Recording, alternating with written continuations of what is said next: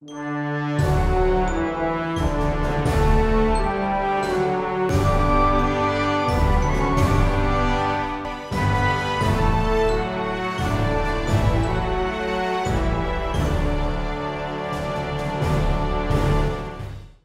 da, and welcome to the Welsh History Podcast.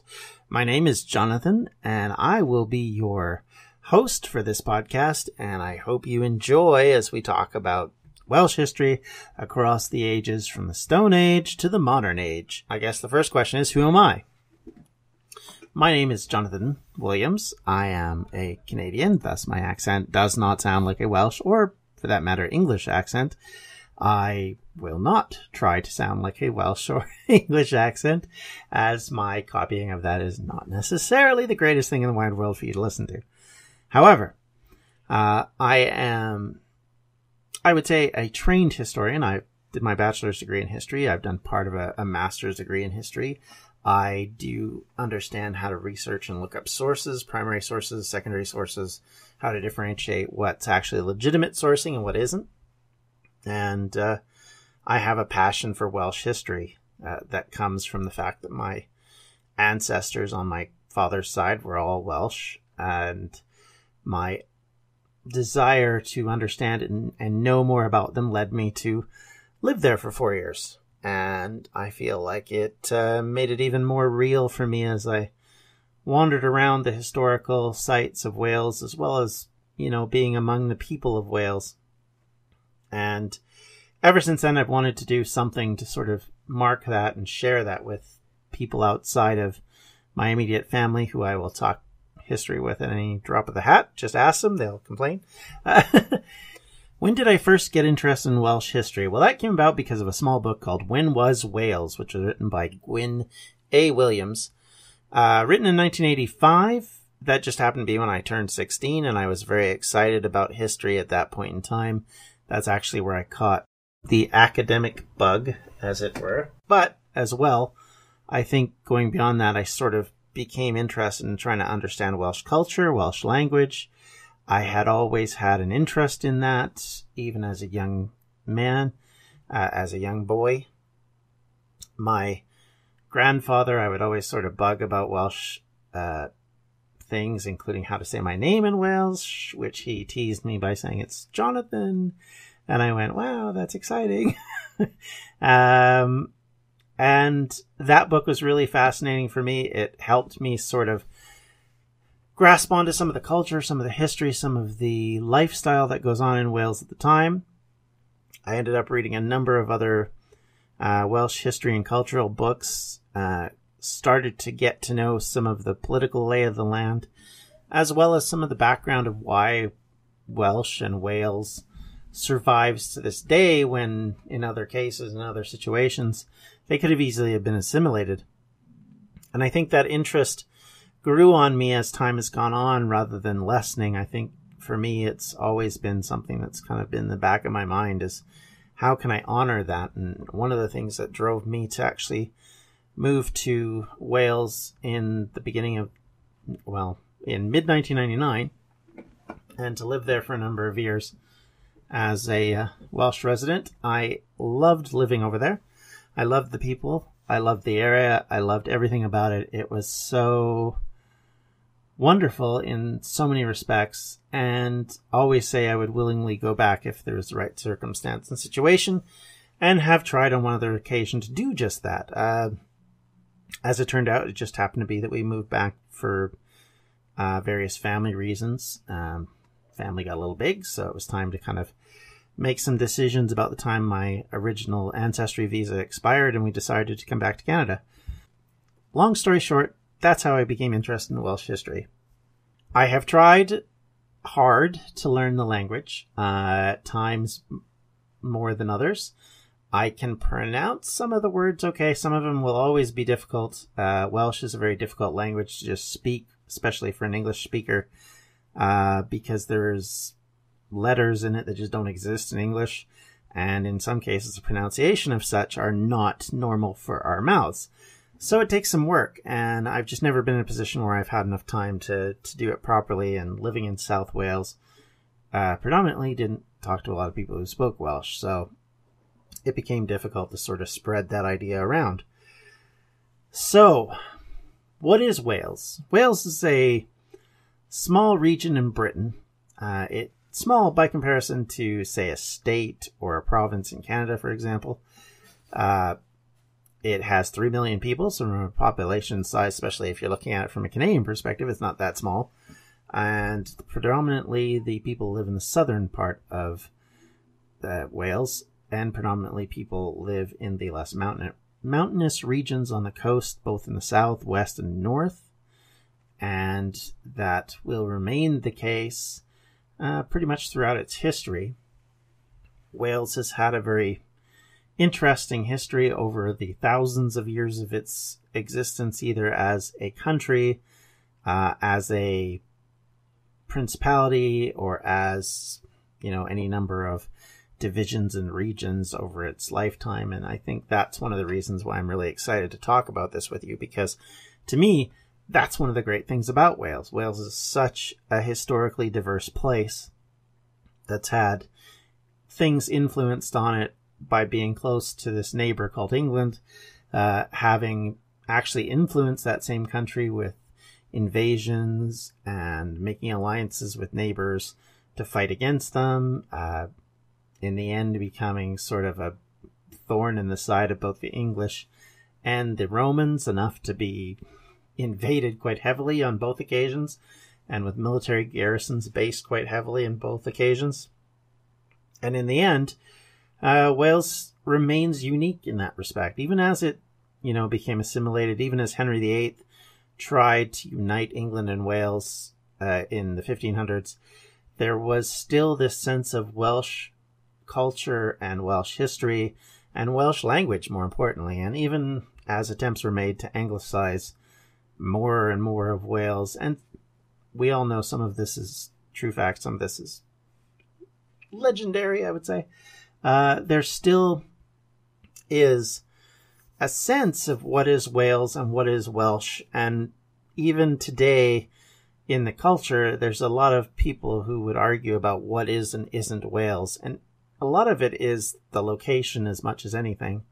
It definitely has an influence on how people view the countryside, how they view uh, environmentalism, how they view their place in the world. Uh, environmental impacts of Wales have been, you know, a, as early as tin and stone in the Stone Age, and then the Bronze Age, going forward even into the Iron Age, and especially in the Roman period when the Welsh mines were developed by the Romans to try and get various items out of them.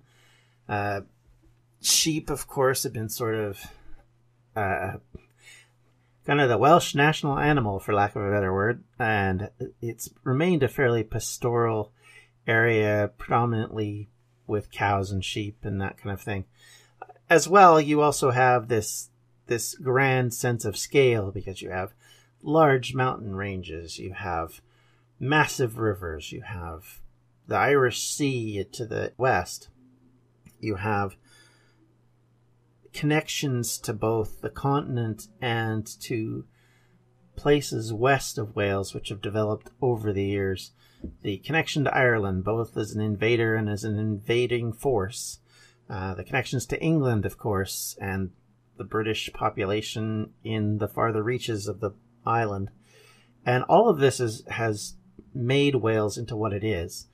And we're going to go into this in great depth in the next episode, but I, I, I just wanted to get to this idea. What is this? Because a lot of times when you talk to people about Wales who aren't necessarily familiar, they don't understand A, what Wales is. You know, is, is it a region? Is it a state? Is it a province? How do you describe something that for its own population is considered a country, but by every political measure isn't a country? And how do you intend to teach people about something like that when they don't have a concept of what it is from the beginning. And so you have to kind of start from scratch. And for a lot of people, that can be difficult. Sometimes it's easy. It depends on, of course, you know, kind of your background and understanding. So the other thing is, is why did we decide to do this? Well, for me, it comes down to the fact that I love this history. There's a lot of great depth in it. I also want to understand it more. So reading more of the sources and coming to understand the day to day life of people from the Stone Age to now is something I've always wanted to get more into. And I feel like this is a way to, to share that information with more people and people who have an interest in that information, be they people who have an interest in Wales like I do, might have ancestry in Wales, might just be curious about some specific subject matter that we're going to discuss. Uh, the fact that they've heard of Wales because of some reason or other, be it the fact that they're in, like, for example, this year they're in the Euro 2016, or if they're, you know, and they're trying to understand who, what's this country, Wales, and that kind of thing. Because I can tell you for a fact that if in Canada, for example, if you said, Have you heard of Scotland? Everybody goes, Oh, yeah, yeah. Have you heard of Ireland? Oh, yeah, yeah. Have you heard of England? Yeah, yeah, we know England. Have you heard of Wales? People are going to go, Maybe. And sometimes they do, and sometimes they don't.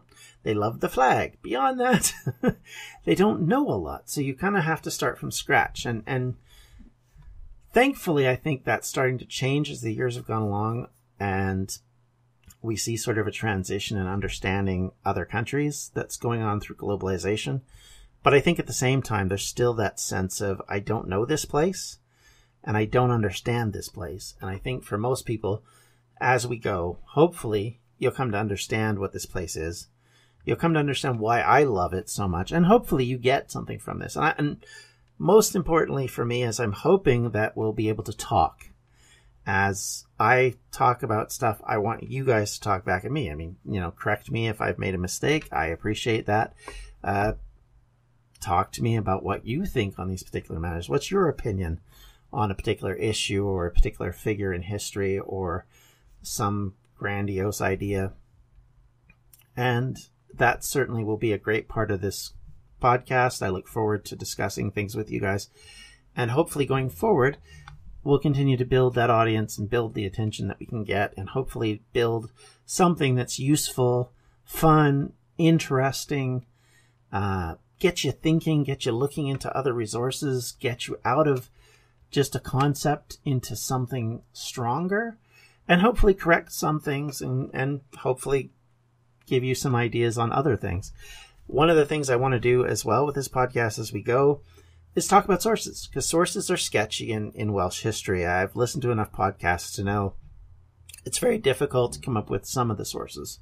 So, how are we going to supplement where we don't have a source? Because if you talk about Wales before, say, 50 AD, when the Romans invade, you don't really have a lot to go on. You have a very sketchy information from a couple of Greek sources.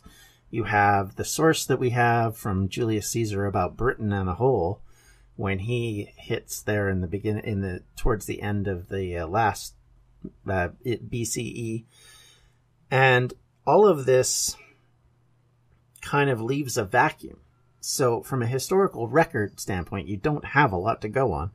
So, what we're going to rely upon, at least in the early stages, and probably, I'll be honest with you, through most of this podcast, because I think you have to rely on this to some extent, because I think it fills out things. So, what am what am I talking about? I'm talking about the archaeology, because for Welsh history that goes beyond just the modern or written era, you have to have archaeology to back you up. And even in the written area, you can't take everything for granted. I mean, our understanding of how the Anglo-Saxons, Jutes, people interacted with the British people was always based on some writings of Gildas in the 500s. And that's kind of determined, okay, this is what we think. Plus the Anglo-Saxon Chronicle and a few other things have kind of cribbed from that writing. But the reality of it is, we don't know that any of that is necessarily true because the archaeological record somewhat disagrees with it. So what we have to do is we have to sort of weed out sources material and kind of say, okay, here's the strong parts of this, here's the not so strong parts. What can we take from it? What can't we take from it?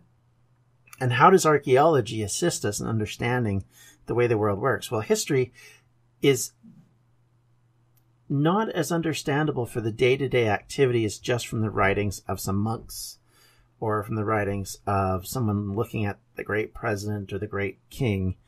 They are, archaeology does a great job of giving us actually the day to day existence of people.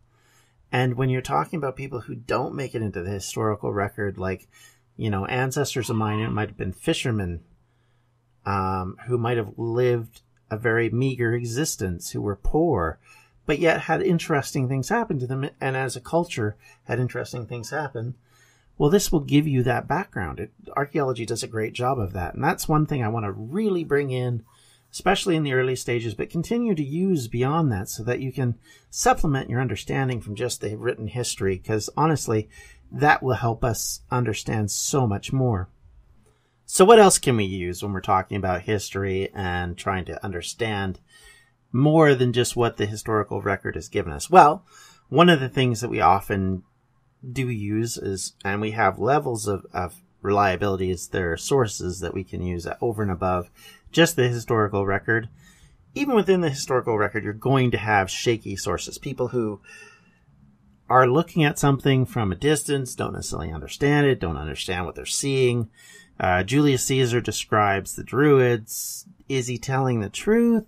Is he telling his own version of it? Is it just his way of seeing it? Is it just basically a Chinese whisper sort of situation?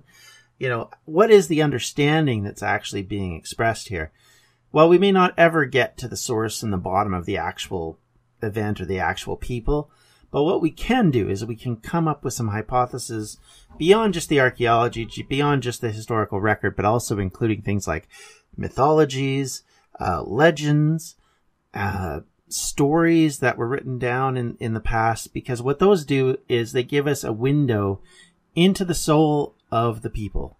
You know, what stories are they telling themselves about themselves? What mythologies are they building? What, what gods do they rely on and why? You know, is there a particular worship service they do? Why do they do the things they do? Like, for example, in the Roman period in Britain, uh, barrows which are, are large earthen mounds that have been built up, usually over a burial site or over a, a, an urn that's been had uh, had cremations put into it, and then they're at the center of the site or at the top of the site, and sometimes it's used over and over again. Well, in the ancient world, it means something, but it means something different when you get thousands of years away from its original design, construction, and build when you have the Romans coming along who don't necessarily understand what it is, and even the Roman Britons, the Romano Britons who are seeing these sites, what they end up doing is they start to bury coins near the barrows.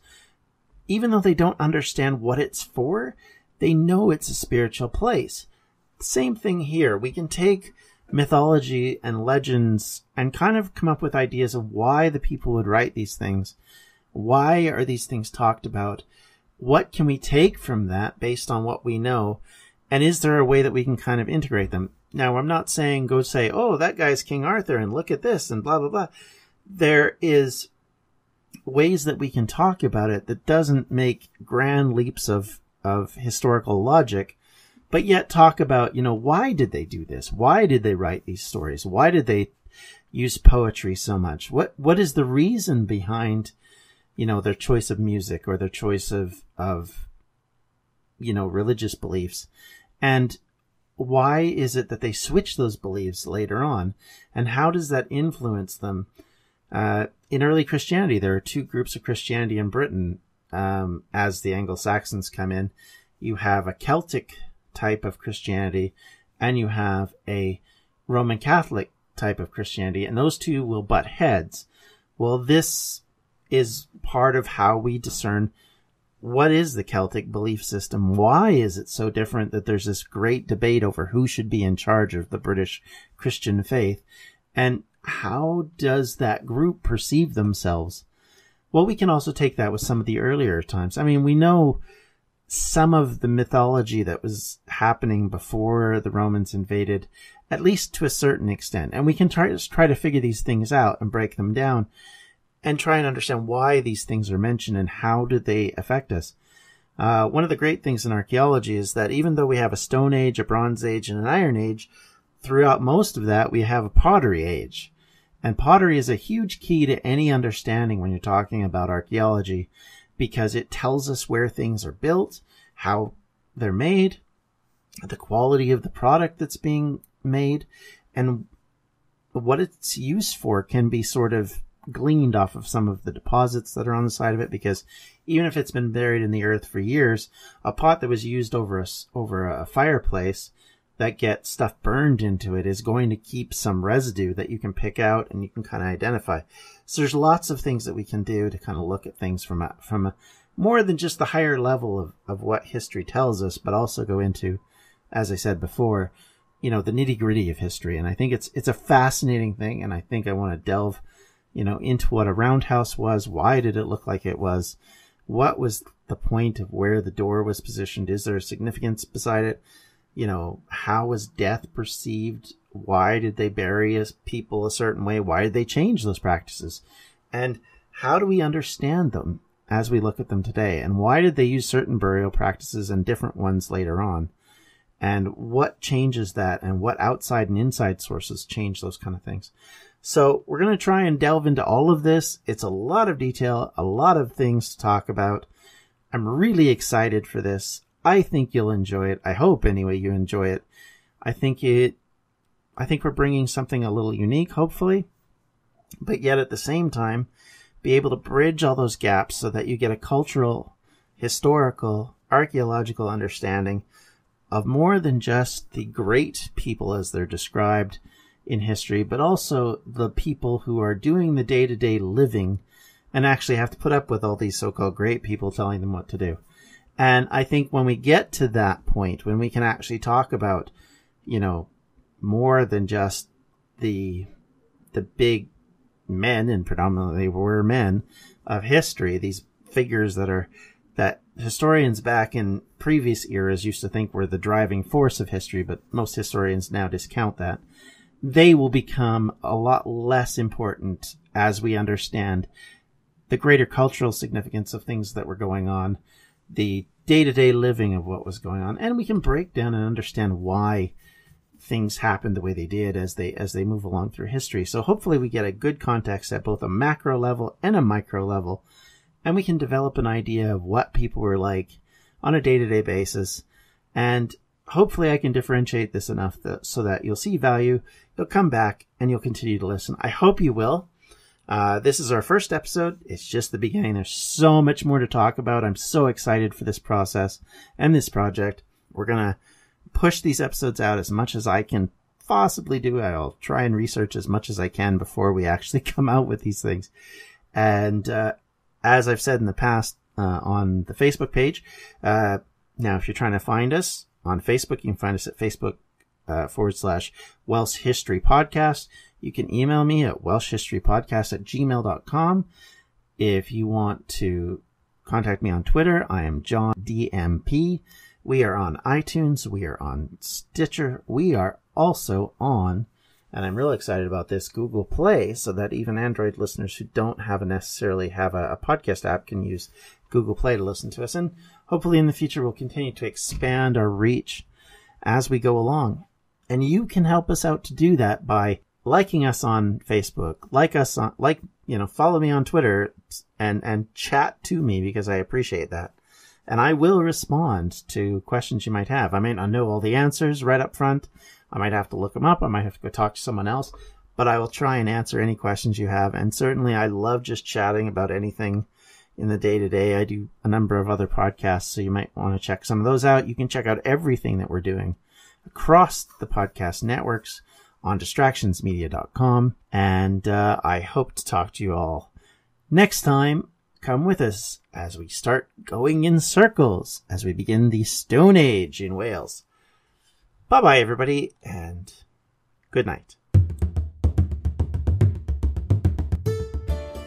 This has been a Distractions Media production. For more information, you can check out everything we do at distractionsmedia.com.